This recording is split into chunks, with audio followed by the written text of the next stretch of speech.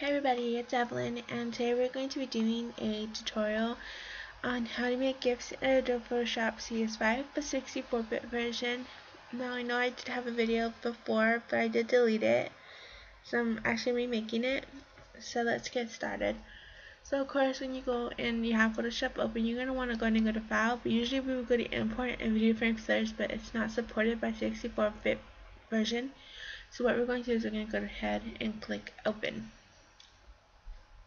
Now once you have it open, you're going to go ahead and select the video that you have. I'm going to use um, teaser for Park Kyung's from Block B for their comeback. And I'm going to click open and it's actually going to open the video in Photoshop.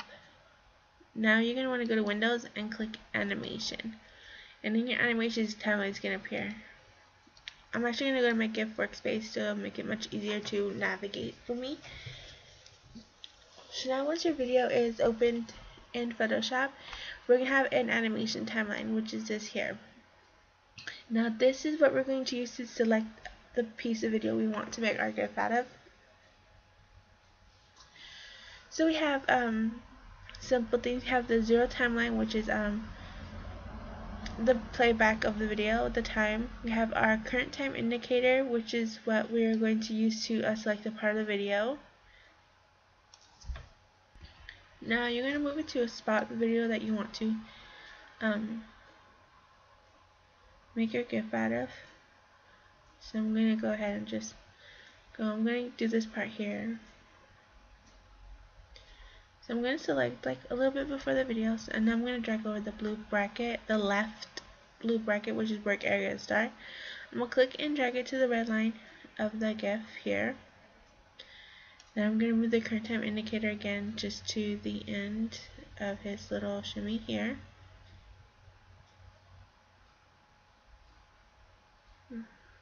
Right about there. Then bring over the um, right blue bracket which is work area end and then we have this little selection here. Now I can press play and it will play my selection for me. Okay, so once you're done that, you're going to go here to the drop down menu and you're going to click flatten frames into layers. And it's going to make our frames for us. And we have a view. So I'm going to open my layers.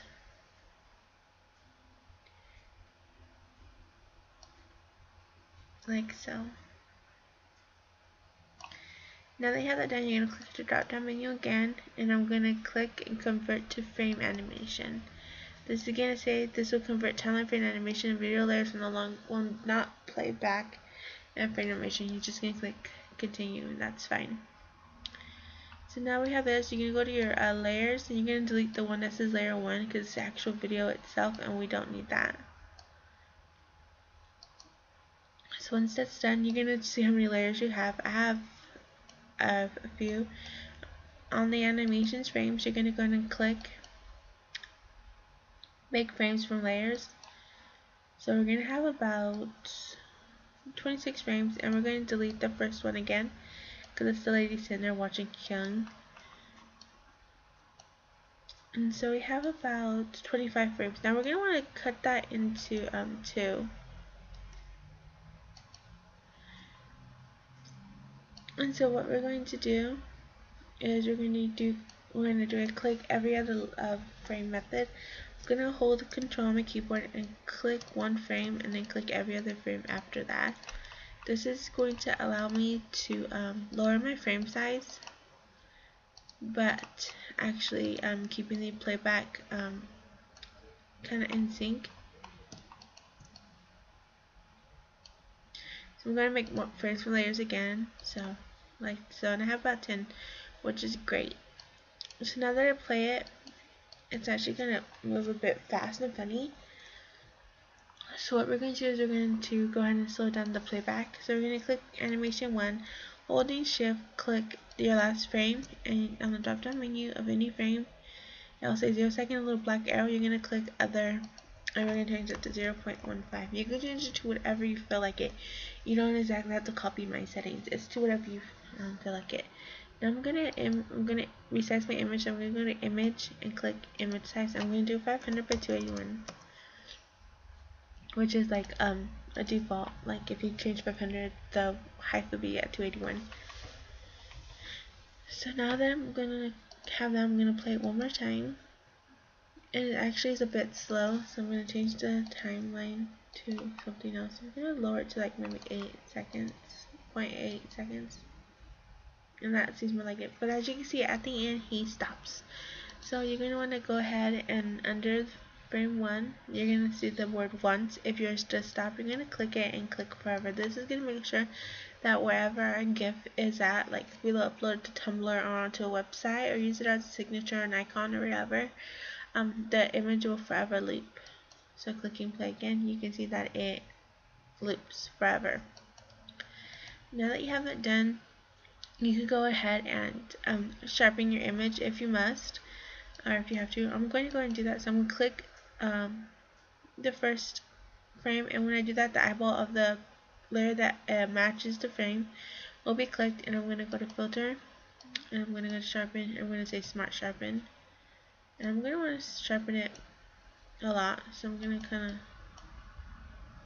mess with my um, pixels radius take that to 500 I'm going to lower it to like 3 and I'll click OK. And I'm just going to click the second one, the second and Control F to repeat the sharpening. I'm having to go to filter and sharpen over and over again. Okay, so now that my image is fully sharpened, I went ahead and paused and finished it. And you can playback and it looks actually great. So now you can add coloring if you want. I'm not going to, I'm just going to leave it as is. And we're going to save. So we're going to go to File, I'm going to click Save for Web and Devices. And this is going to load up the uh, Save dialog box, which is, it loads. It takes a minute to come and appear.